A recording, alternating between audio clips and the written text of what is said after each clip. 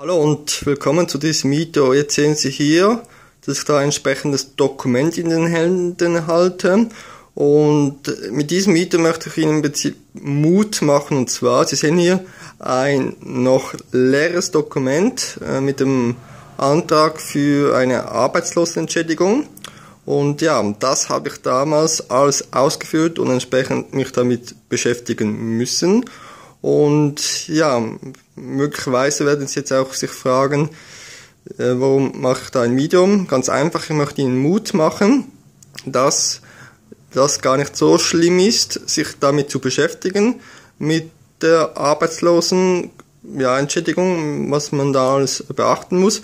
Und wenn man sich damit beschäftigt und sich da wirklich, ja, damit auseinandersetzt und arbeitet, dann kann es sein und es wird auch sein, dass dann ein wenigen ja, Tagen, Wochen Monate später ein Brief ja, kommt und zwar hier sehen Sie, dass ich da entsprechend eine Abmeldung habe.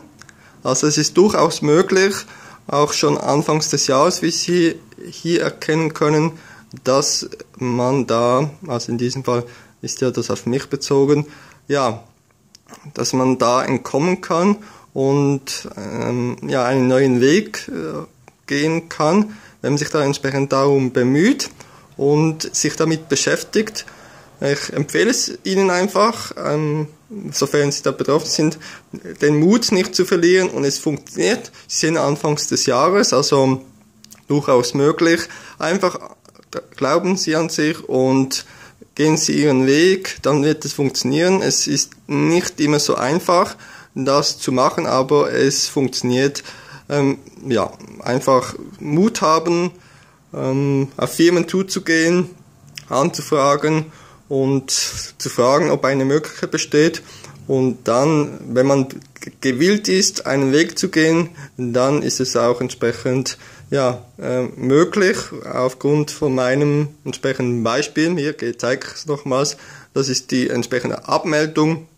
Und zwar auch das Datum sehen Sie hier, also durchaus möglich, anfangs des Jahres hier.